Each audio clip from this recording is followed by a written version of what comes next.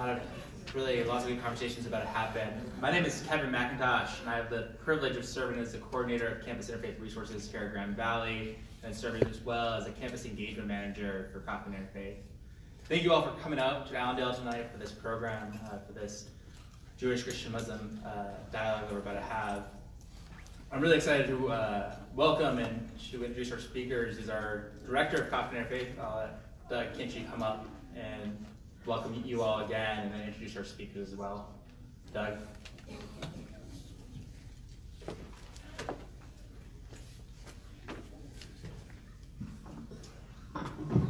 Thank you, Kevin. Uh, we're really excited with Kevin being part of our team. Uh, it's a new position that was established last year at Grand Valley.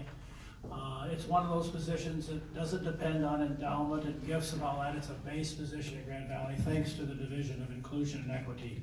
He's housed here on campus and works 80% of his time roughly here and then 20% with the Kaufman Institute. In particular, helping the interns from the five schools that we have, uh, schools in the area that have interns, and he coordinates that program as well. So we're really, it's really exciting to see a state institution make this commitment through the Division of Inclusion and Equity to say inclusion and equity is also a religious issue. We need to include and make sure that all religious faiths, including the, including the secular, have a place at the university and are engaged in learning about each other and have the opportunity to learn and to accept and to work together. So we're really pleased with this campus part of the initiative. As many of you know from the community, the Interfaith Dialogue, which the main event is tomorrow, has been going on since 1990, and it was started by Sylvia Kaufman, who is the founder of the Kaufman Institute, and was responsible for starting this program as Jewish Christian Dialogue uh, back in 1990, but then when it moved to Grand Valley, in 2006, it became the Jewish Christian Muslim Dialogue, and it was Sylvia's idea to bring it to our campus, and we're so appreciative. Thank you, Sylvia.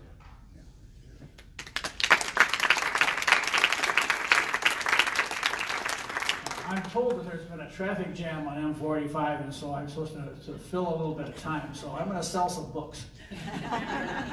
we have five books uh, from our speakers at the table. And I want you to know that all of these are at uh, reduced, publisher reduced because we have the speakers here. They do a very nice uh, reduction. So almost all, they're all roughly half what the normal price would be. We even beat Amazon. Uh, Eboo Patel's book, uh, Acts of Faith, is uh, it was at the publisher reduced price, it would be $10, but we just discovered that two of the chapters are printed upside down. you know what I didn't do that. You didn't do that? You didn't write them that way? No. Anyway, we're going to have a little discussion with the publisher, but if you want to get one of these, five dollars, okay? we'll settle. We'll settle with the publisher later. Then, um, then the uh, another book that uh, Eboo is responsible for uh, is Interfaith Leadership of Primer, and that's available ten dollars. Is that right? Back table, okay. And then uh, Jennifer Howe Peace has edited and written articles in this book, My Neighbor's Faith, and you'll be hearing from her. And I think that's $10 also. And then uh, Rabbi Elliot Cosgrove is the editor and author of some of the articles in this piece called Jewish Theology in Our Time. I think that's 15. And then the latest book that just came out a few weeks ago, right, Eboo, is uh, Out of Many Faiths, Eboo's new book published by Princeton University Press and it's also reduced fifteen dollars. Um, I can, I can give you summaries of each of these, but I won't because you want to hear from the speakers, but I do want to encourage you to stop at the table and pick up some of these, and after you've heard them speak, I hope you'll agree that that will be a good investment. So at this point, we're going to hear from, briefly, from each of the speakers, and uh, then we're going to let them interact a little bit at the table, and then we're opening it up for questions and answers. And uh, I don't know if it was a flip of the coin or how you decided, but our first speaker is Jennifer Howe Peace, who is a professor at Andover Newton, which is now a part of Yale Divinity School, and is also the co-director of a Christian Jewish program in that area. She'll be our lead speaker.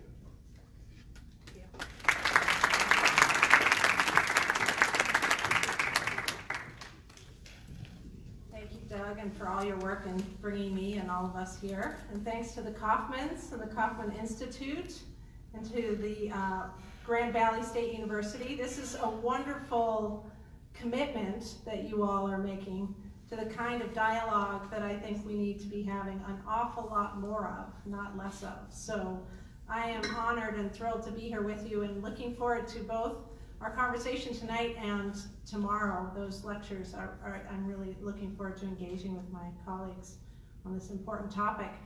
So rather than spending my 10 minutes up here summarizing what I'm going to say to you in 45 minutes tomorrow, I decided I would do something a little bit um, from the side, sort of sneak up on the themes I'm going to approach tomorrow.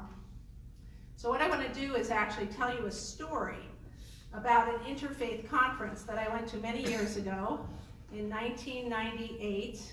Uh, Eboo and I were just reminiscing that this actually, this conference was where he and I first met, so uh, 20 years ago. And I'm going to tell you the story and then I'm going to pose a set of questions, and that will give you a kind of overview of the themes and questions that I'm going to go into in some depth tomorrow with my lecture. So I have to leave you wanting a little bit more so that you will come back tomorrow to, to hear that version. So the conference was in 1998, and at the time I was a doctoral student at the Graduate Theological Union in Berkeley. And I was feeling like my academic work was a little abstract, a little perhaps distant from the vitality of the religious communities that I was interested in studying. So I was looking for outlets for my work that would help it feel a little more grounded. And I came across an organization, a fledgling interfaith group called the United Religions Initiative in San Francisco. They were just starting out, and I was fascinated by this group and asked if I could be sort of a fly on the wall as they thought about what this new organization might become. And before I knew it, I was their youth board member and uh, charged with identifying a group of young people to come to this global planning summit that was going to be held on the campus of Stanford University. And this is where they would begin to outline in broad strokes what this new interfaith organization could be. Now, the summit was an amazing event. There were hundreds of religious leaders from all around the world. We had bishops from Africa and gurus from India and indigenous leaders from around the world. And great pains had been taken to ensure that all the dietary restrictions and institutional protocols and everything anyone could need were, were taken into consideration. And we had this incredible youth delegation that was sort of a microcosm of this, of this larger conference. There were young people from Bombay and uh, from Johannesburg, from Boston and Chicago and LA. And as part of the conference design, each of us in these different delegates were invited to give opening prayers or moments of sort of silence before each work session. And our youth delegation took this really seriously and we stayed up late preparing and then we decided, we decided in our planning that instead of offering a kind of potpourri of prayers from each of our traditions, or a kind of mashup of everybody's tradition into one prayer, we would try something different. We'd try something nonverbal. And one of the women in the group described this human rainstorm activity. I don't know if any of you have ever heard of this, but we thought this would be a neat kind of nonverbal way of opening the session. And the way, the way this works is that you stand in a group and one person sort of starts rubbing their hands together. Somebody starts snapping fingers and then clapping and then stomping and it gets really loud. It reaches this crescendo and then you sort of go back through this cycle with each person dropping off. And when it's done well, it creates this beautiful effect of a, of a rainstorm sort of rushing in and rushing out. And so we practiced it. We were like gung ho. We were ready. We thought this would be great. But when it came to the next morning, as it turned out, our group got bumped. There was another delegation. They thought it was their turn, and you know, it was all confused. They said, all right, you guys, you'll do the afternoon session. So we said, okay, we'll do the afternoon session. But then we got to the afternoon session, and then another delegation had to leave early, so they gave them our time slot, and we got bumped again. And, you know, I knew everyone in our group had stayed up late preparing, and I was kind of irritated, but I didn't want to make a fuss. I knew everything had been so carefully planned. So, other than grumbling to a few friends of mine, I didn't challenge the decision. Now, about halfway into this, this afternoon session, I forgot all about who did or didn't do which opening prayer because a friend of mine stood up suddenly in front of this esteemed assembly of hundreds from around the world and said, My name is Christian. This really was his name. And I am a gay man. And I have not felt safe or welcomed at this assembly, which is supposed to be about peace and tolerance. Well, you could hear a pin drop. He was speaking out of turn, unscripted in this highly scripted event, and from his heart. And he started sharing parts of his story. And as he talked, some of the delegates stood up and walked out. And Christian choked up.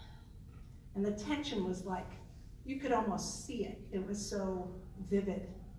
And Christian began to cry.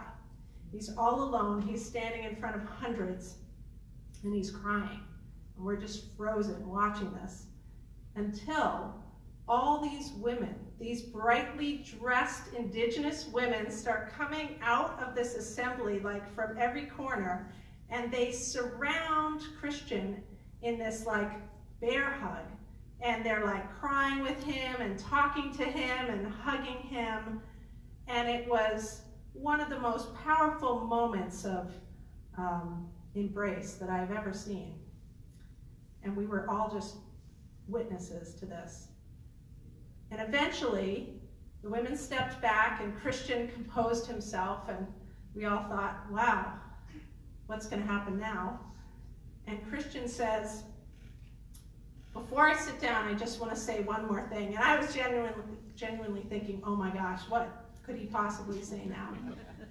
But he says, the young people at this gathering have not been treated with the respect they deserve. They were supposed to open the morning session and they got bumped. They were supposed to open the afternoon session and they got bumped. And he was like, so, and, and he turns to me and looks at me and, and puts out his hand and says, so Jenny, will you come up here and pray for us? And I have to tell you, the last thing I wanted to do was step up into that fraught, contested space just pulsing with raw emotions, and I'm mentally scrambling for reasons I couldn't possibly step up there and pray.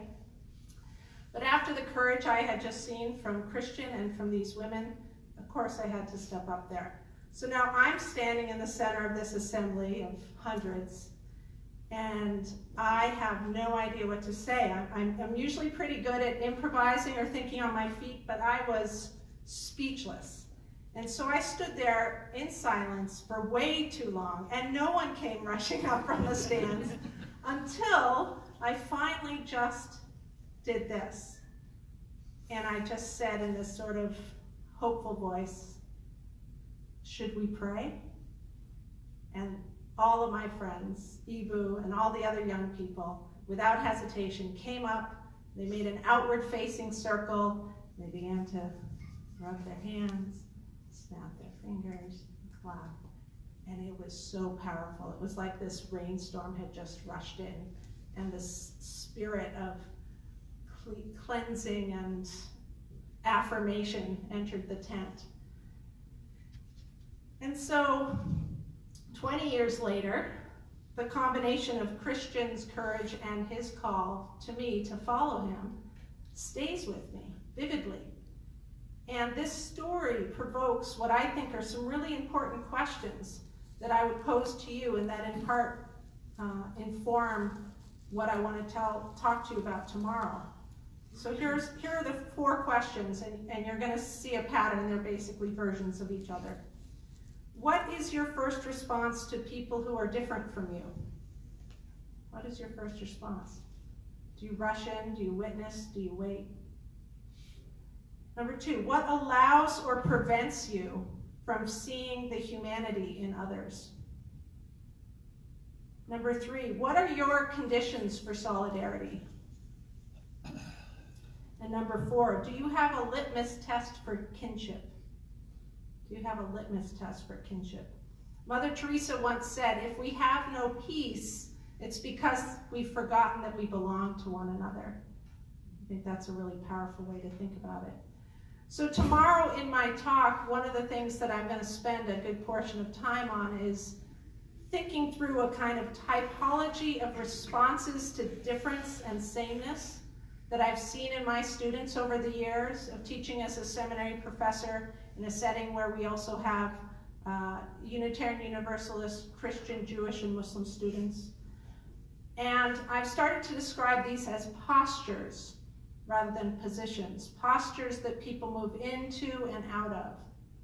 And the five postures that I've started to identify and think about, I'll just give you the, their tagline, and then tomorrow I'm going to go into details around how I define these and some of the stories that inform these. So the first is difference as threatening. It's one response. The second one is sameness as disconcerting. Sameness as disconcerting. The third posture is sameness as assumed. Sameness as assumed. The fourth posture is difference as essential. And then the fifth posture, and the one that I think we are called to live into and to reside in, if as much as possible, is the paradox of difference and sameness. The capacity to embrace the paradox of difference and sameness. And so I would argue that the way we answer the question that we're all focused on here, this idea of religious identity as either uniting or dividing, has a lot to do with our relationship to this paradox of sameness and difference. And that's what I'm going to go into more detail around tomorrow. But thank you very much.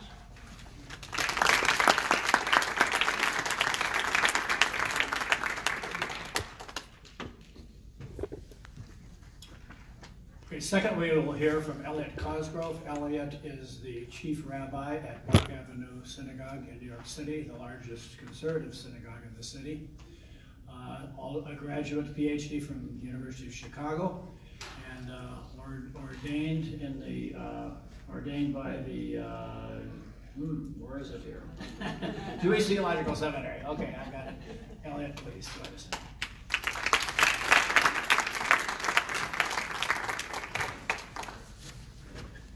Doug, thank you so much, and uh, Sylvia, thank you. Where's Sylvia? Uh, Sylvia, thank you so much, and, and to Eboo and to Jenny, uh, heroes of mine. Uh, and it's just so great to be here at Grand Valley and dialogue with you and dialogue with the community uh, and to kick off uh, the next 24 hours all together. Um, I was telling Jenny earlier that I saw a video of a Sarah Silverman YouTube. I didn't, did anyone see this? So they, she brought together five faith leaders, uh, uh, Muslim, Hindu, and otherwise, and um, a game of horse to see which was a true religion. Um, and I'm not going to spoil it as to which is the true religion, um, but I'll only say none of the religions represented on this panel won. So, uh, so we'll all go into this next 24 hours with a great deal of humility um, and otherwise. It's wonderful to be back here in Michigan. I did my undergraduate work on the other coast. Uh, in, in, Ann Arbor, and I have such fond memories of, of creating friendships and relationships here in Michigan and adventures in Muskegon and St. Joe's and a Beastie Boys concert in Kalamazoo um, and all sorts of things uh, that I can remember but probably shouldn't share now that I'm the chief rabbi of Park Avenue Synagogue. The, uh, but but I, I, it's actually also a, um, when I had the warm invitation to come here, I was reminded that in, in many respects, um, I don't know if I would use the word calling, but but the decision of me to become a rabbi actually began in Michigan. Um, because I came from a culturally identified Jewish household. And it's interesting, Jenny, because we're both bringing ourselves, which is really what interfaith dialogue's about, not to speak as a professor of religion, but to bring our own stories to the fore. And I'm, uh, and I, I arrived at Michigan. I hadn't rejected my Judaism. I was actually quite proud of being a Jew, um, but it was something that I did at home. It wasn't something that I actively practiced where I was. Um, I did it when I saw my folks back in um, Los Angeles. And um, I received a phone call sometime in my junior year of college uh, that a man named Mr. Gendon had passed away. Now, Mr. Gendon was a Holocaust survivor um, who lived on his own. He was long widowed, and he was a person who he, we would always have at our table because he had no other family. And so my parents, being nice folk, would always make an extra setting for him. And he was as close to a grandfather figure as I actually had. And I got a phone call saying Mr. Gendon had passed away.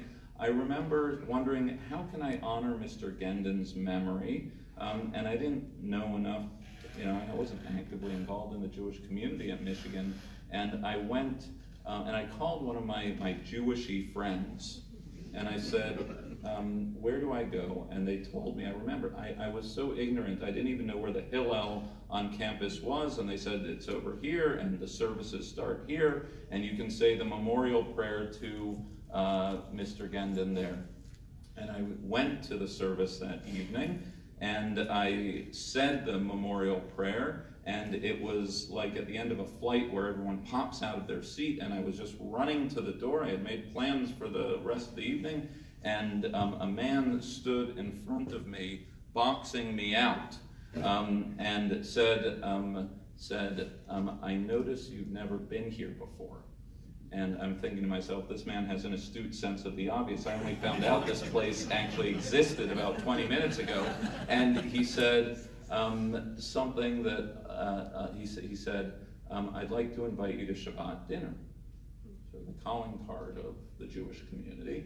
And, and I, I lied um, because I figured he didn't want to hear about dollar pitcher night at Rick's that night. And I said, um, I said, I already have Shabbat dinner plans, thank you. And, um, and, and, then he said something that I'll never forget, um, which he said with a smile on his face, he said, but I bet you don't have dinner plans for next Friday night. and I was caught. And I uh, went to dinner that Friday night and I got involved in the Hillel governing board and I became editor of the Jewish Student Journal and, and, and. Um, and something that I, I've told that story many times, but the aspect of that story that I don't tell um, for reasons which maybe you can appreciate as a congregational rabbi, um, which I probably wouldn't tell into my own community, but I'll tell you now, which is I was um, very much in love and very much um, dating um, a, a, beautiful, um, upright, very Catholic daughter of the Dayton community. This was my college romance. And so at that very moment, um, where I was asking myself, what does Judaism mean to me? What is this thing that I have left in Los Angeles, access occasionally on the holidays, but what does it actually mean to me? Um, was at the very moment that I was in that junior, senior year moment of college, and I recognize that there are many college students here where you're asking yourself, well, is that relationship a relationship that's going to transcend the four years um, of college? And it was a very painful moment in our relationship uh, because I wasn't an active practicing Jew, but I was asking myself to what degree um, could this person, who I otherwise, otherwise shared an extraordinary amount in common, could I build a future with that person knowing that our faith traditions were other? And um, that moment that I, have been thinking about as, as I've been preparing for today and tomorrow um, is, is a way to frame, I think, the, the hyphenated nature of our existence as contemporary Americans. Each one of us walks this earth, right? The three panelists as a Jewish American, a Muslim American, a Christian American. We share aspects of our identity Um, but there are also, and to use Jenny's language, dissimilarities. There are non-overlaps. And in this America that we all share, we ask this question, and, and of course it's not just religion, it's also gender, it's also race, it's also ethnicity, it's uh, socioeconomics. There are a million hyphens of our lives, but we ask ourselves to what degree can we all play in the sandbox together? The issue that I'm going to explore in full tomorrow, but I'll give you the taste of right now, is to try to situate this question of the hyphenated dimensions of our lives in the arc of the American Jewish historical experience. Um, I would begin that conversation just about, just a tad over a hundred years ago with, um, with a famous speech um, that well, might not be so famous, but you know, speakers say a famous speech. Um, so now everyone feels somewhat inferior. Who doesn't know this speech? But it was uh, Roosevelt um, in, on the eve of World War One, and he's uh, uh, Teddy Roosevelt, and he says, "I stand for straight Americanism, unconditioned and unqualified."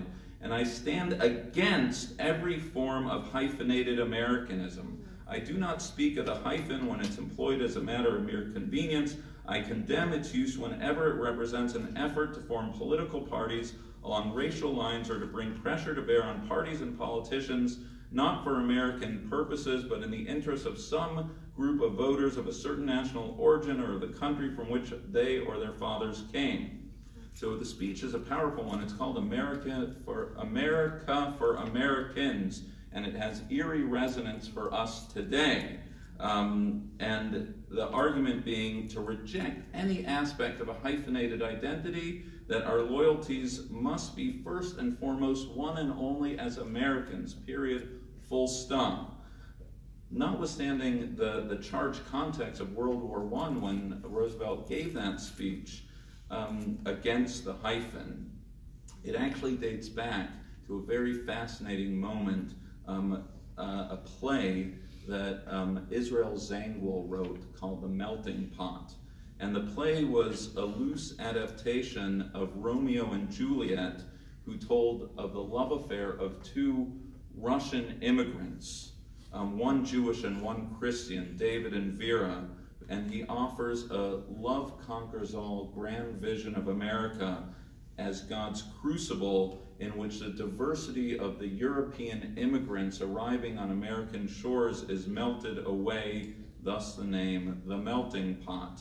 Roosevelt was actually present on the night of the opening of the play, and he leaned over, historians say, his box and shouted, That's a great play, Mr. Zangwill, that's a great play. And from that point onward, Roosevelt gave expression to an anti hyphenated, melting pot vision of American life. No matter your origin, ethnicity, or religious background, you were American. In his own words, our children's children will intermarry one with another, your children's children, friends, friends, and mine. Now, despite the critical success of the play, I'm just curious. Well, actually, I won't say. I was gonna. I'm curious if any, people have heard the term the melting pot, right? But the, the idea of the play, it wasn't received well by all. Um, rabbi Judah Magnes, not the synagogue, um, I'm a rabbi, but it is on the Upper East Side, Temple Emanuel. He preached a fiery sermon against the play, and he suggested that Zangwill's vision for America was essentially asking American Jews and all hyphenated Americans to give up their identities in the name of brotherhood and progress. And inspired by Magnes, one of the great public intellectuals of the 20th century, a man named Horace Kallen, wrote an essay called Democracy and the Melting Pot. And he argued for a model of America that retains and celebrates our differences and diversity. And he provided a beautiful vision, an orchestral vision, whereby every type of instrument has its specific timbre and tonality. So Kallen never used the word multiculturalism, and neither Kallen nor to be sure Zangwill were thinking beyond white America. But looking back on 20th century American social history, it's this debate between Zangwill's melting pot and Kallen's orchestral vision that set the terms for identity politics in this country for the years to come. What was, what is the American dream? Is it Zangwill's monochromatic vision of acceptance, assimilation, and integration? Or is it Kallen's pluralistic playground for uprooted immigrants to live out the fullness of their hyphenated identities? I'm going to talk about the hundred years tomorrow since, but a lot has changed since the 19 teens. As Jews, I'll just give you a few quick talking points and maybe we'll open it up for discussion. Number one, the sharp divisions between the Jewish community, the Protestant community, the Catholic communities, other communities are no longer in play.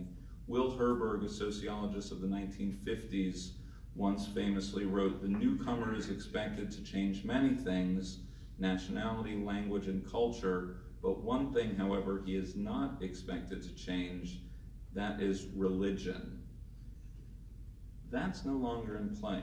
Right now, the numbers for the American Jewish community are some 72% of American Jews, um, non Orthodox American Jews, who will fall in love, will fall in love with someone not of the Jewish faith.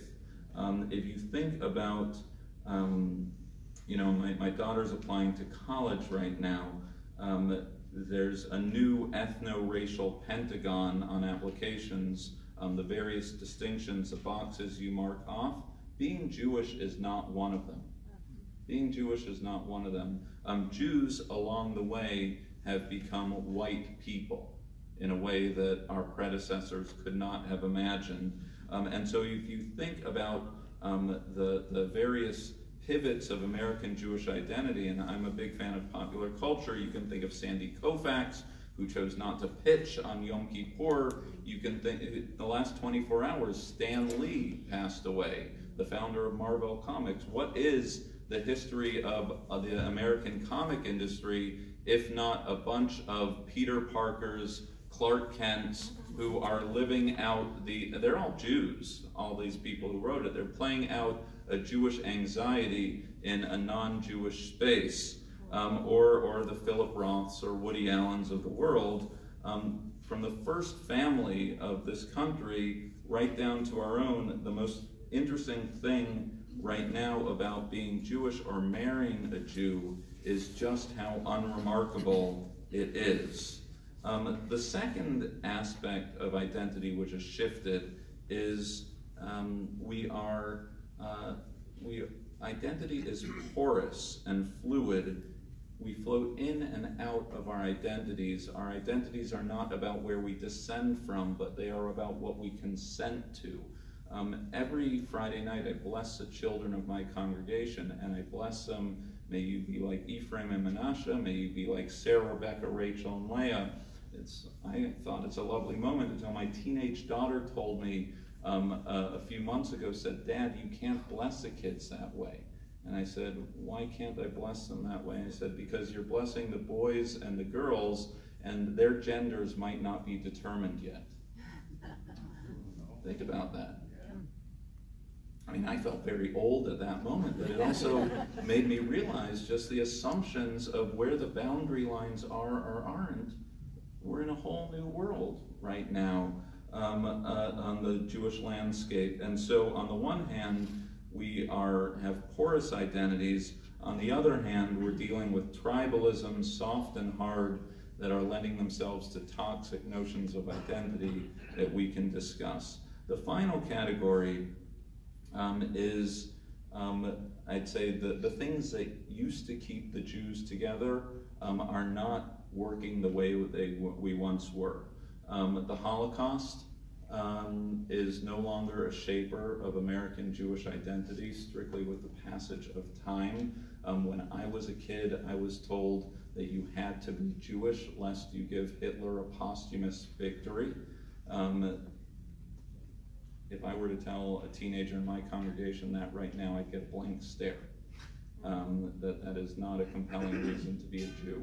Um, number two is anti well, uh, it doesn't matter what order. Number two is Israel. On the one hand, a focal point of Jewish identity, a centerpiece um, for what defines us as Jews. On the other hand, um, Israel, when we disagree with Israel's policies, the very thing that's supposed to bring us together, can put us on the defensive and tear us apart as a Jewish community. And number three um, is anti-Semitism, and we'll talk about this more tomorrow, but I'd be remiss if I said, on the one hand, Jews have never been as comfortable as we are right now in America. On the other hand, um, the events of Pittsburgh um, just a few weeks ago um, have sent a shockwave um, through the organized Jewish world um, and are forcing um, congregational rabbis, Jewish communal leaders, and otherwise to rethink the question of just how comfortable it is um, to be an American Jew um, right now. So um, these are some of the new territories um, that are presently in play when it comes to the hyphenated nature of our lives. Um, the Jewish experience is but one of many experiences, so I look forward to being in dialogue um, with my colleagues and um, finding out if there's shared language.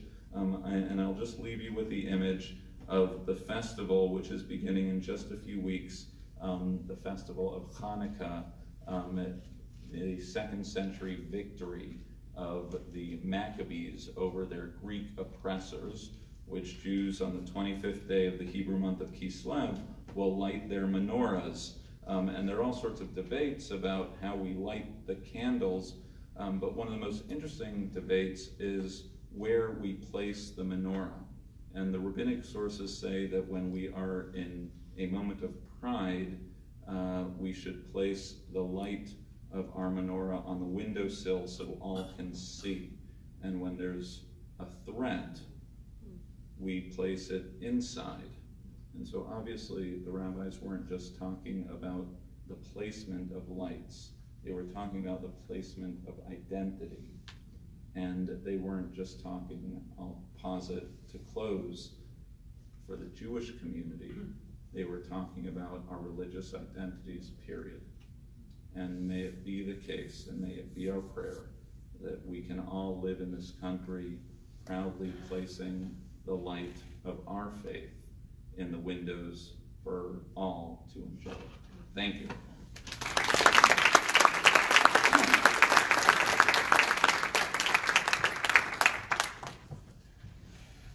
Our third speaker this evening is Eboo Patel. He's uh, no stranger to this area. He's been at Grand Valley before, at Aquinas College, at Calvin, is a Rhodes Scholar at Oxford University where he did his doctorate in sociology religion and the founder and president of the Interfaith Youth Core. Eboo.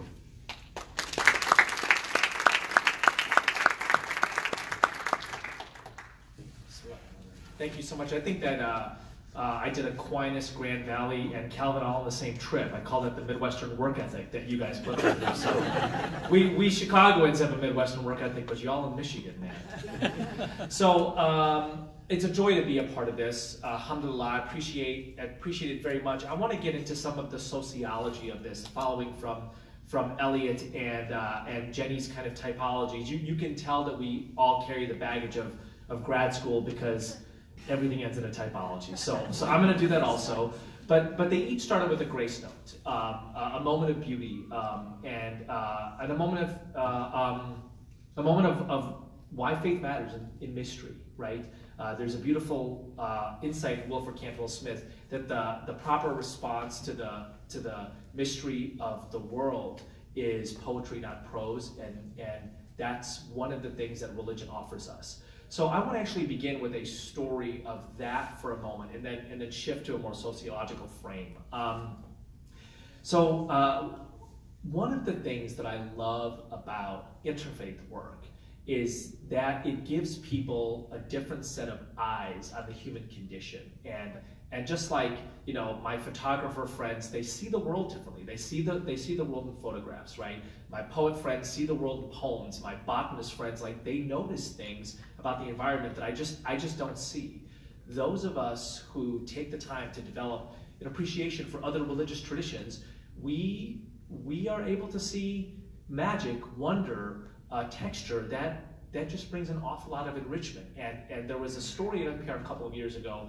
that for me just just typified this. Um, so as people know, uh, there was a terrible tsunami in Japan uh, some years back, and uh, like people like like literally uh, uncles, brothers, sisters, uh, husbands, wives, sons, daughters, loved ones, they're just like swallowed up by the by the sea and gone, right? And uh, uh, one of the uh, uh, kind of central Japanese religious practices is communication with ancestors or, or those who have passed. And so this Japanese American journalist is kind of narrating uh, some of the things she saw in Japan after the tsunami and, and noting that, that the Japanese, from her vantage point as a Japanese American, were kind of a taciturn culture. They, they were not especially open with, with emotion. And, and so, in this desire to express the emotion after this terrible tragedy of the tsunami and connect with those who had just been like vanished, right, just disappeared, um, a man put in his front yard uh, a physical phone booth, like an old school Clark Kent phone booth. And he would go into his front yard, into this phone booth, and he would pick up the phone, and he would talk to his dead brother. And the neighbors around saw this, right? These Japanese neighbors, and they would start to line up to go into this phone booth and call their wives and their husbands and their sons and their, da- their daughters and their lovers and their friends and their uncles who had, who had disappeared.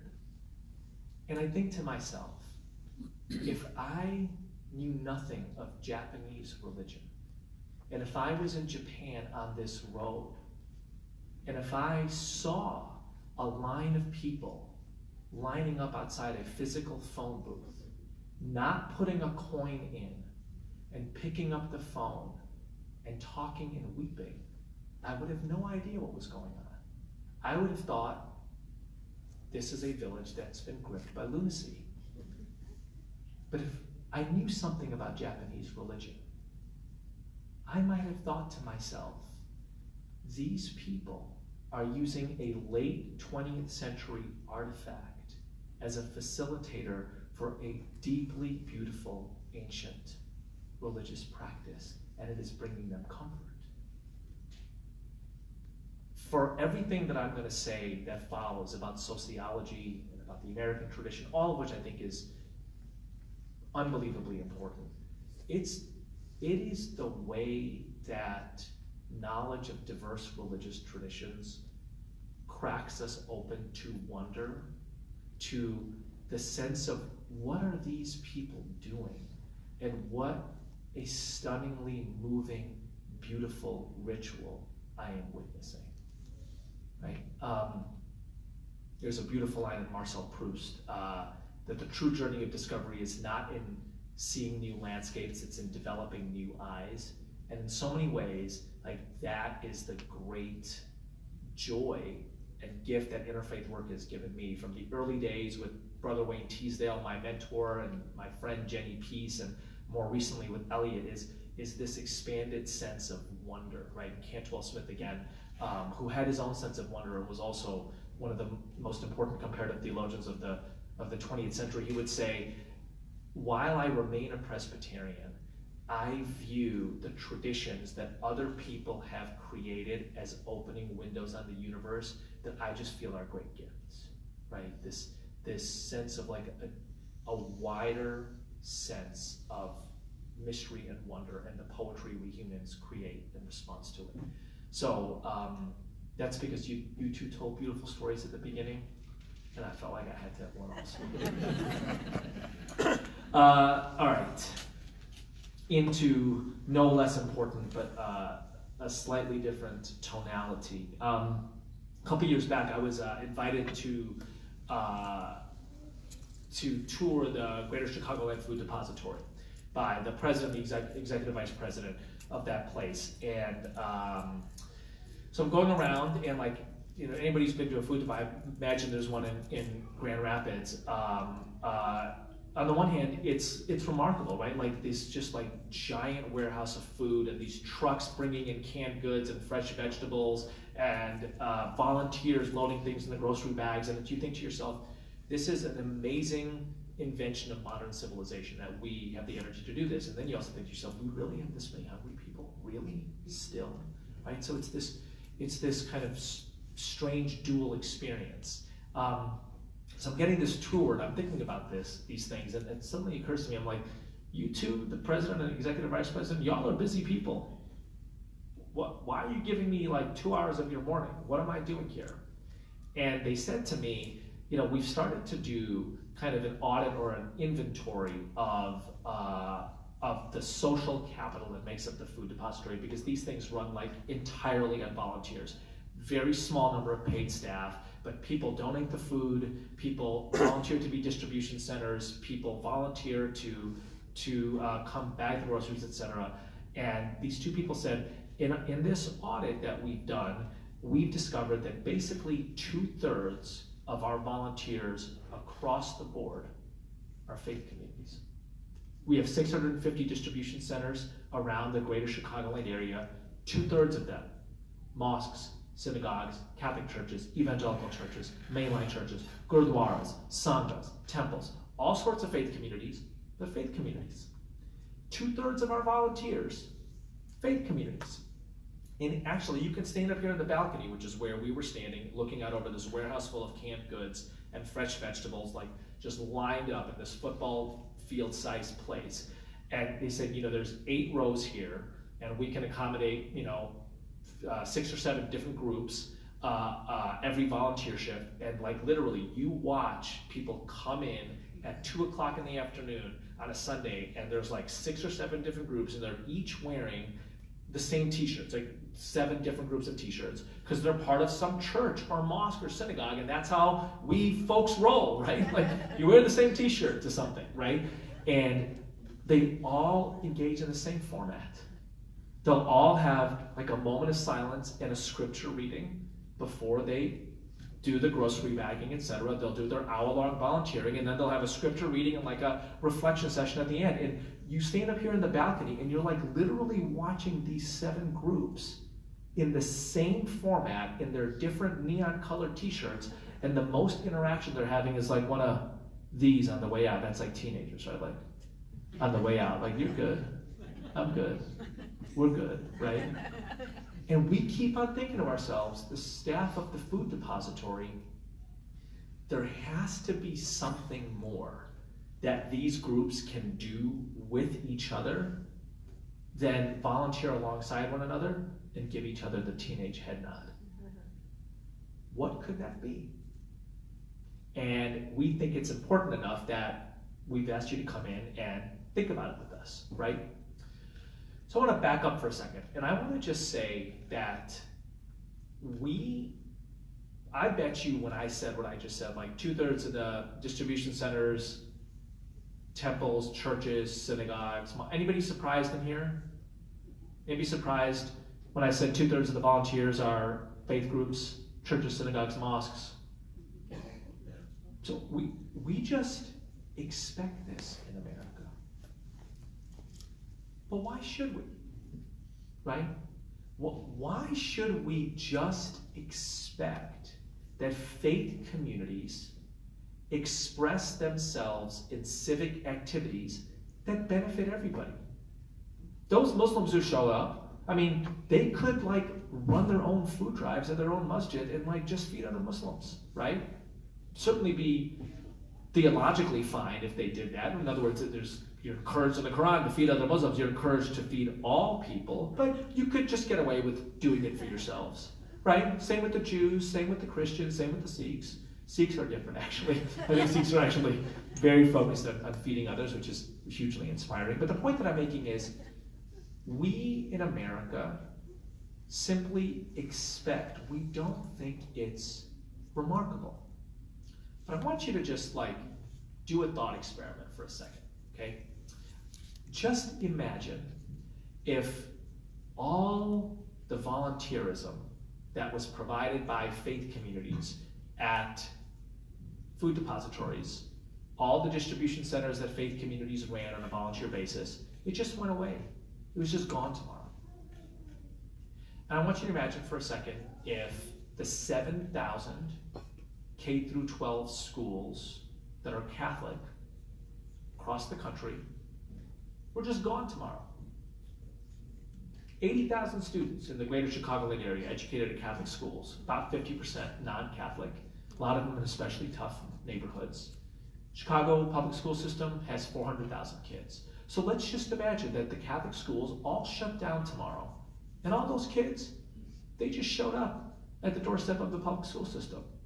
Public school system had 20% more students. I want you to imagine that Jewish hospital in Louisville, gone tomorrow. Rush Presbyterian Chicago, gone tomorrow. Inner City Muslim, Muslim Action Network, gone tomorrow. What is left of American civil society? How much do we rely on the contributions of faith communities in our civic life? Robert Putnam in Bowling Alone says it's about 50%. About 50% of American civil society is generated, inspired, or run by religious communities. It's about 1,400 private colleges and universities in the United States, about 800 started by religious communities, seven of the eight Ivy League schools, every one except for Cornell. There's 200, 230 Catholic colleges and universities in the United States, probably five only accept Catholics. Imagine if this was all gone. The American promise is that this nation will give dignity and freedom to every identity. The bosom of America is open to the oppressed and persecuted of all nations and religions. That's George Washington. He matters still. The American genius is that if you give dignity and freedom to a variety of identities, those identity communities will build your country. That's exactly what's happened. Now, back to the food depository. The reason that the excellent staff at the Chicagoland Food Depository had not themselves waded into some kind of interfaith cooperation exercises with those diverse religious groups that showed up, volunteered alongside each other, gave each other head nods, and then went away was because they were smart enough to know that there are downsides to opening up a can of worms. What if you open up the wrong conversation between a religiously diverse group of volunteers? What if you invite a prayer together and some group prays very legitimately in the name of its tradition, and another group is like, we don't do that, we're out. What if what begins as a volunteer activity turns into a theological argument? And a couple groups say, we don't come here for theological arguments, we're out. What if it turns into a political argument? The most effective day of lobbying for the Chicagoland Food Depository in Springfield is Church Day, which has now been replicated by Jews and Muslims. Why not Interfaith Day? Because what if by the time those groups of people bust down to Springfield, they no longer want to be with each other? So, what the Chicagoland Foods Depository had asked me to come for is, can you suggest to us one of your alum who could be hired on our staff as interfaith coordinator. This person would need to have a sense of appreciation and comfort of the range of religious communities with which we work and reach out to others. They would know, need to know the theology of service in a range of religions because they're talking to people about it all the time. They would need to know an interfaith dialogue approach that focuses on what these groups have in common with parameters that keep them focused on what they have in common, maybe push them a little bit, but not until lands where they're going to say, we're done with this and we're not coming back. They would need to maybe sequence a curriculum so that what starts off as volunteering together could become increasingly sophisticated lobbying together and public service announcements. If we have mosques on the south side of Chicago that are distribution centers, we want mosques on the north side that are distribution centers. Can you help those mosques on the south side encourage their Muslim brethren on the north side to do this? Can you, in, in effect, train the mosques that we work with to be spreaders of our gospel? And I thought to myself, you are looking to hire an interfaith leader. And I bet you the food depository in Buffalo, New York, and in Miami, Florida, and in Los Angeles, California, and in Grand Rapids, Michigan, looks about the same. It's religiously diverse groups who volunteer at your center and who serve as distribution outlets. And I bet you every single executive director of a food depository has thought to themselves, how could we facilitate cooperation? How could we multiply this social capital? And then instead, eh, might as well leave good enough alone. Hmm. So here's my question. Could you be that person? Do you know that theology of service across religious traditions? Do you know interfaith dialogue techniques that would bring people together on things that they have in common, maybe push them a little bit, but stay within the parameters that they're largely comfortable with? Would you know how to take a theology of service and move it into a theology of activism without, again, straying into territory that might cause tension or conflict? Could you be that person? Is this only exclusive to food depositories? In other words, aren't human services in the United States becoming increasingly characterized by religious diversity? Our health, our social welfare, our education. Isn't there a way to bridge that social capital and strengthen that social cohesion?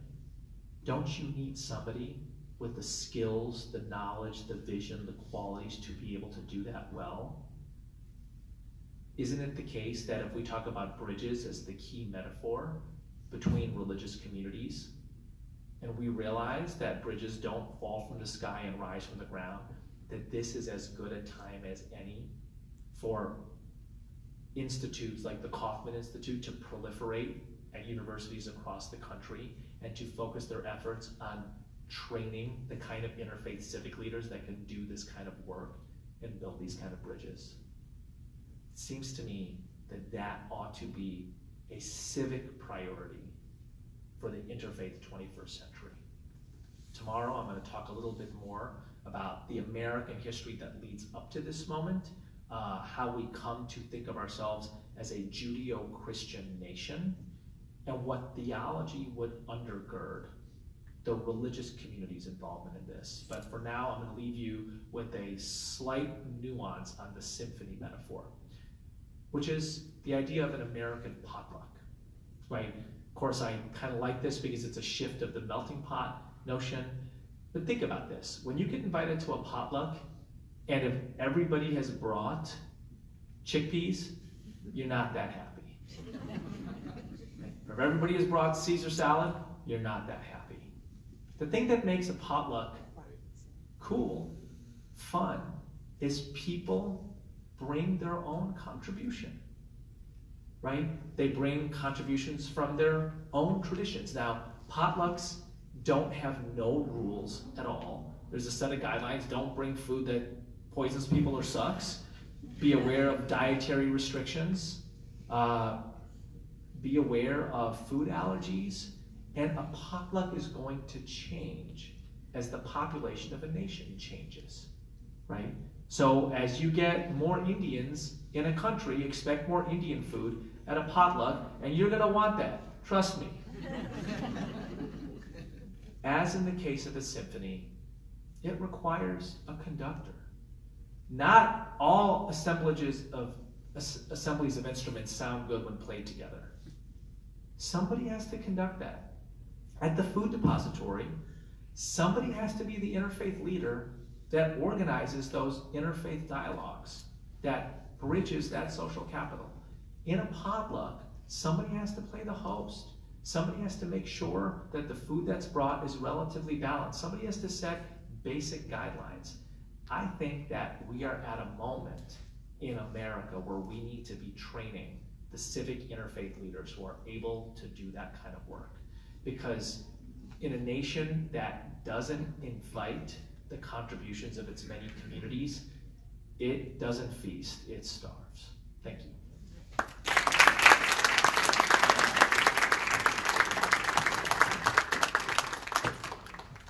Ask the other speakers to join us, and I don't know if we want some brief reaction with each other, but then we want to open it up for questions. I thought they were great. Here, here. I had one, Okay, one go thought. ahead, Jenny. I just, um, I feel like there's so much in both of those. Is this on? Supposed to tap it? How's that? That, ooh, yeah. Um, I thought there was so much in both of those presentations, but one thing that stood out to me, we were talking beforehand about the fact that we all have children. And when Eboo was talking about the volunteers in the food bank, I have this image of, um, you know, anyone who has toddlers knows about parallel play, that idea. And I, so I started making me think that maybe we're not teenagers when it comes to interreligious engagement. We're really more like toddlers. Like, we will play parallel, but don't like make us do this and sort of play together. And it, it made me think about the fact that the, the work that we do, it's not, it's not that it's so complex or difficult, but it is risky. And there's a certain vulnerability in turning from this kind of posture to this kind of posture. And in a sense, I feel like we don't have necessarily yet the systems and structures in place from, say, you know, infancy up throughout the, the way we form our kids in, in the schools and in various settings to encourage this turn towards each other and the kind of vulnerability that requires. But, but then, you know, anyone who's made that shift from parallel play to that joint play, there's such a richness in it. And I think, you know, that's, for me, that's another interesting metaphor as we think about where we are in this moment and where we might need to move and what, what sort of is required to be able to make that kind of move.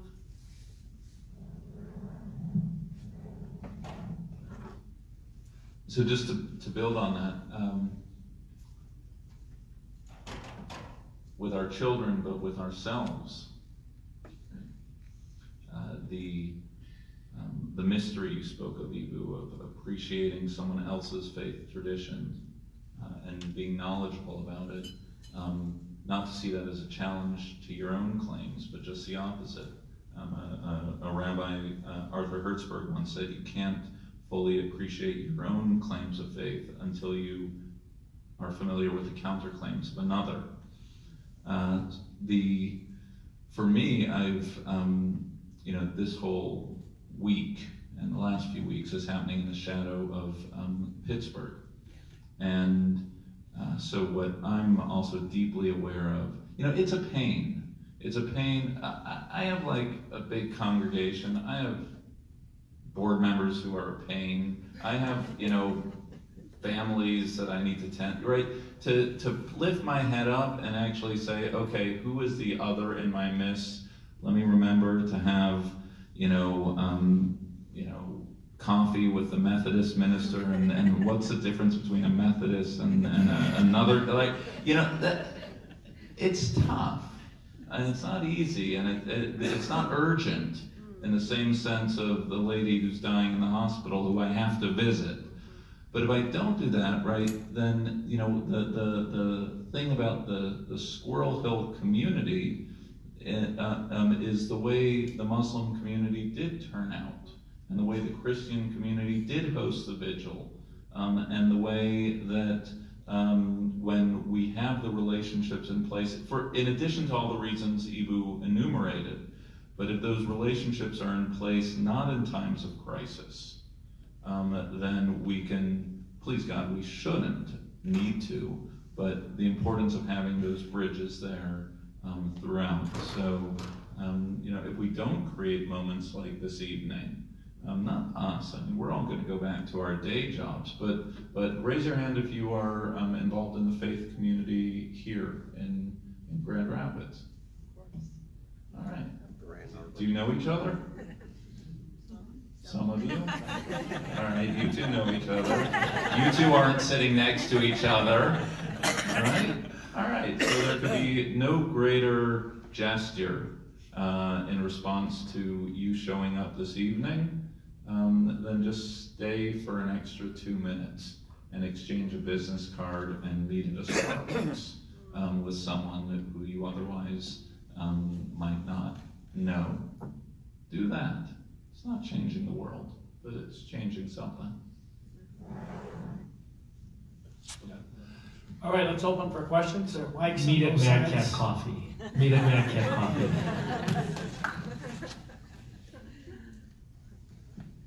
Could you Go to mic, please.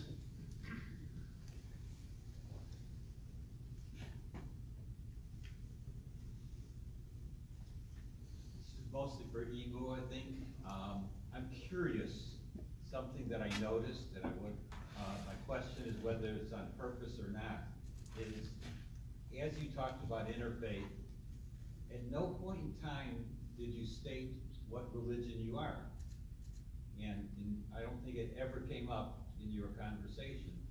Um, is that on purpose, or is there a reason for that, or is it just something that I observed that's meaningless?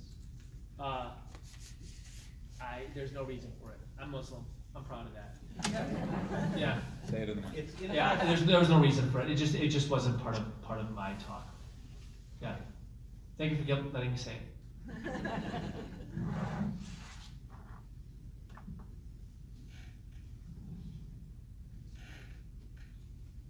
Thank you all so much. My question was sparked by the first talk, but I'm really interested in what any of you have to say. I'm wondering how your work is informed by some of the latest brain science or psychology behind how and why humans resist difference, run, you know, have fear of these issues, uh, how how we respond to feeling attacked or uh, how tribal we are, all of the stuff that's coming. How do we come together uh, how do we use any of that in the practices that you're designing and the recommendations that you're making so that we are having conversations that toggle between our shared humanity and suffering and, our, and, and honor and affirm our differences and, and do some of the work that you want to do? Yeah, that's a brilliant question, and my colleagues may have something to say to this, but I just want to say that that is actually, I think, an area that informed some of my thinking on this topic. We have this wonderful grant at my seminary around uh, incorporating the sciences into the classes we were teaching, and I was just like, what, what does that have to do with the class on interfaith I'm teaching?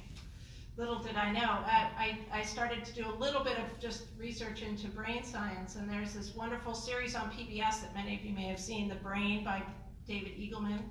Um, but reading a little bit more about the work he's doing, one piece that really stood out to me and struck me because he is, he as a descendant of uh, Holocaust survivors, is very interested in sort of the brain science behind our capacity for genocide. Um, but he talked about how it starts as this process of dehumanization, and that what sets that in motion is rhetoric and the way we understand and speak about each other as less than human. And they actually did some brain studies where they showed people pictures of folks with different professional garb. So a, a, a lawyerly looking person, a doctorly looking person, a person who was homeless. And when volunteers were showed pictures of the person who was homeless, the, the part of their brain that activates when you see another person, and there's apparently there's an actual spot on the brain that registers some sense of recognition and connection, was not active. It was the part of the brain that registers objects that was active. It was just so stark and striking. So you can see in the brain what dehumanization looks like. That to me is powerful insight about how our brains are working and suggests that we need more than just saying to each other, hey, you should really get along and treat each other well. There's, there's processes that get set in place that have profound effects on, on our capacity to see each other as human beings. And once we begin that, that path towards dehumanization, we can justify all manner of things that history shows us again and again we're capable of. So I, I appreciate that question so much, and it is an area that I think deserves a lot more attention and work as we try to come up with not just diagnoses of the issues, but strategies and, and solutions for ways we can work together. That was a little long-winded, but.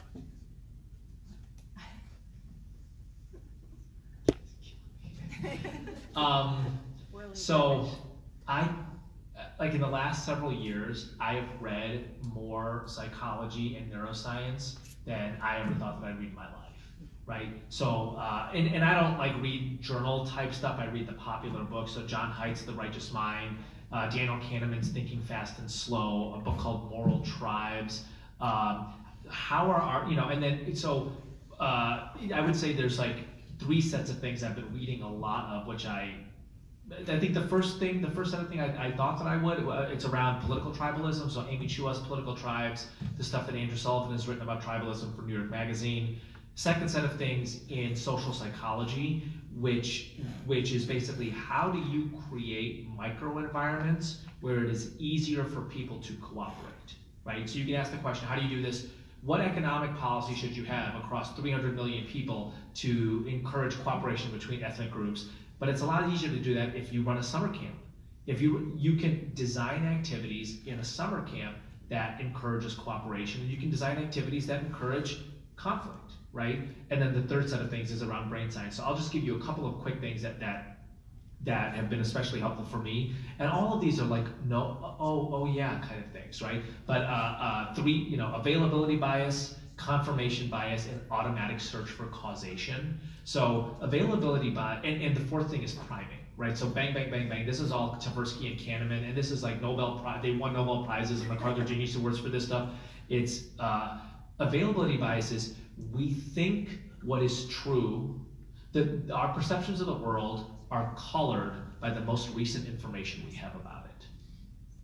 Okay, so my friend Daniel Bornstein, uh, uh, sorry, David Bornstein wrote a great book called How to Change the World about social entrepreneurship. He tells this great story. Um, his dad calls him one day and says, David, uh, human beings are worse than animals. And David responds, Dad, are you watching cable news? And he was, right?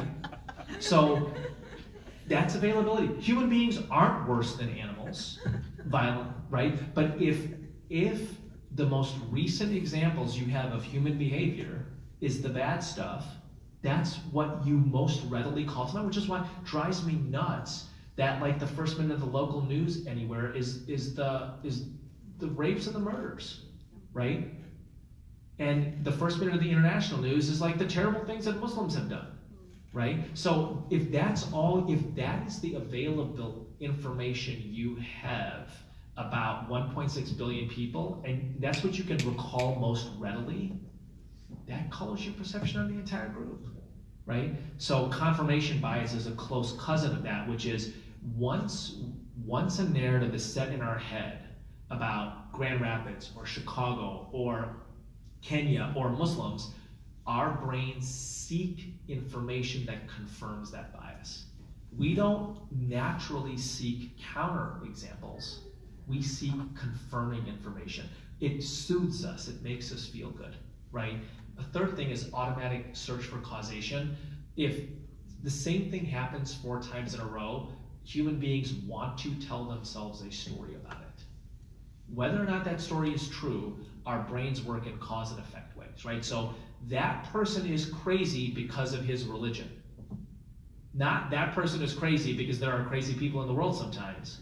We want to tell ourselves a story that makes things logical. And the final thing is priming. If I say one, two, three, four, you think, okay. So if I'm, let's say, a presidential candidate, and I give you six violent things that Muslims have done, what's the seventh thing you think of? A violent thing Muslims do, right? That's called priming. And the, the, the, the reason we at IFYC work on interfaith leadership is that what interfaith leaders do is can prime people differently. I can tell you 10 beautiful things that Japanese Buddhists have done and prime you to think of the 11, right? I can offer you recent information on the beauty of the Hindu contributions to human civilization. That's the most recently available information you have. Your brain will automatically search for more information along those lines. You want to confirm that positive bias, right? So our ability to, as leaders, to positively affect the world, it's high.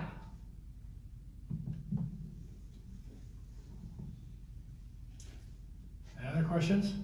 I just want to say thank you, and um, I was also interested in what kinds of systems we can design, what kinds of institutions and processes to support the leaders that you want to like send out to the world that can be very lonely to be this person between spaces that doesn't mm-hmm. quite fit anywhere. And I'm guessing that many of you are trying. So how do we create mechanisms? How do we create you know spaces where they're bonded across that work and it, we're supporting that work. Like we have, we're not just relying on individuals to carry this forward, but we're shifting the way the structures operate. Thank you.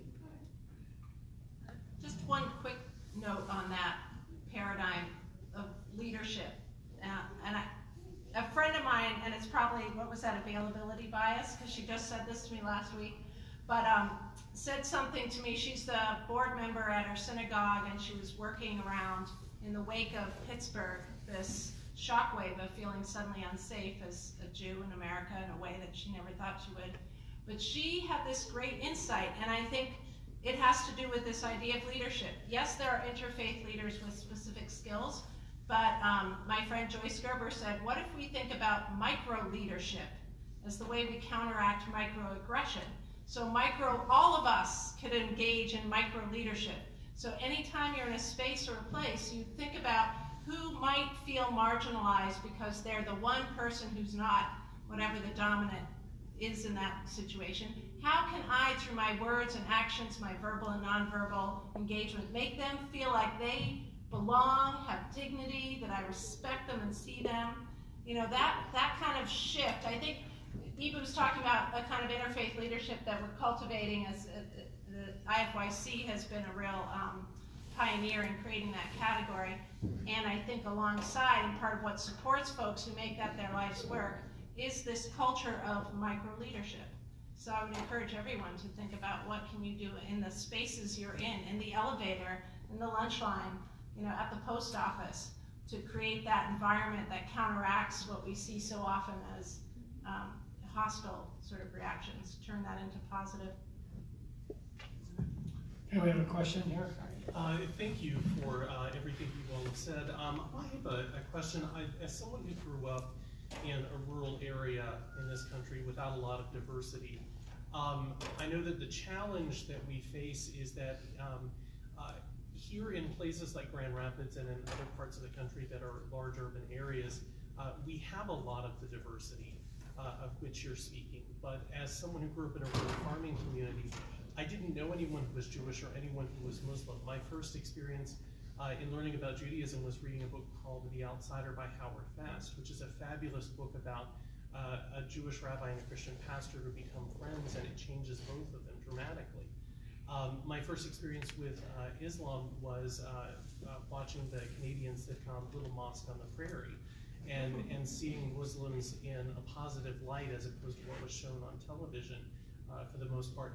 So I, I, think our challenge is how do we reach out to people in parts of the country who may not know anyone who is Muslim or Jewish, uh, who is Hindu or Buddhist or Sikh. How do we reach out to them? Um, are there are there other resources that you all can recommend uh, that maybe we can hold up to friends and family in other parts of the country? Um, are there ways we can help foster that sense of knowledge and dialogue? in places where it's not as readily accessible as larger metro areas.